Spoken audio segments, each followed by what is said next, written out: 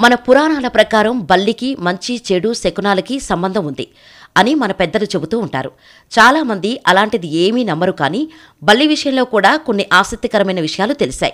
మన భవిష్యత్తు ఏమిటో తెలియాలి అంటే ఇంట్లో ఉన్న బల్లులను గమనించాలి అని చెబుతున్నారు. బల్లికి భవిష్యత్తుకు సంబంధమేమిటి అనే అనుమానాలు మనకు రావచ్చు. అలాంటి అనుమానాలన్నీ కూడా ఇప్పుడు నివృత్తి చేసుకుందాం. ఏదైనా బల్లి మీ ఇంటి గోడలపై ఉంటే మంచిది. ఎందుకంటే అది అడ్డమైన పురుగులను తినేసి ఇంటికి హాని కలగకుండా చేస్తుంది. బల్లి ఇంటి నేలపై నడుస్తూ కనిపించింది అంటే ఖచ్చితంగా మీరు జాగ్రత్త పడాలి. బల్లి నేలపై నడుస్తుంది అంటే ఆ ఇంట్లోకి ఏదో వ్యాధి రాబోతుంది అని అర్థం అని చెబుతున్నారు సైంటిస్టులు. ఎందుకంటే బల్లులు గోడపైన ఉన్నప్పుడు చెడు వాసనలను చెడు క్రిములను గుర్తిస్తాయి. అలా వాసన వచ్చినప్పుడు అవి నేలపైకి వచ్చేస్తాయి. అలా రాబోయే ఎటువంటి ప్రమాదాన్నైనా గుర్తిస్తాయని చెబుతున్నారు.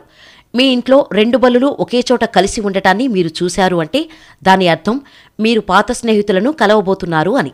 అలా కాకుండా ఆ బల్లులు రెండు కొట్టుకుంటూ కనిపిస్తే మీరు ఖచ్చితంగా జాగ్రత్త పడాలి.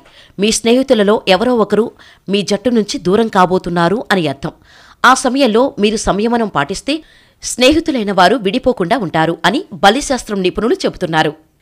మీకు ఉదయం పూట బ్రేక్ఫాస్ట్ సమయంలో బల్లి కీచుకీచుమని అరిస్తే అది మీరు వింటే మీకు ఏదో శుభవార్త రాబోతుంది అని అర్థం. అంతేకాదు ఉదయం వేళ బల్లి అరుపు వింటే ఏదో మంచి జరగబోతుంది అని అంటున్నారు బలిశాస్త్ర నిపుణులు. ఎవరికైనా కలలో బల్లి కనిపిస్తే దానికి కూడా ఒక అర్థం ఉంది. బల్లి కనిపించిన వారు ఏదో ఒక పని పూర్తి చేయలేదు అని అర్థమట.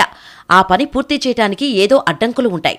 వాటిని పరిష్కరించుకొని ఆ పని పూర్తి చేయటానికి కష్టపడాలి. ఇలాంటి కల వచ్చింది అంటే సదర వ్యక్తులు జాగ్రత్త పడాలి. ఎలాగైనా సరే కష్టపడి ఆ సమస్యను పరిష్కరించుకునే ఆ పని పూర్తి చేయటానికి ప్రయత్నించాలి అని బల్లిశాస్త్ర నిపుణులు చెబుతున్నారు. ఇలా బల్లి మనుగడను బట్టి అనేక రకాలైన ఇటువంటి అంశాలు బల్లిశాస్త్రం ద్వారా చెప్పబడినవి. నమ్మకం ఉన్నవారికి ఇవి అనుకూలంగానే అనిపిస్తాయి.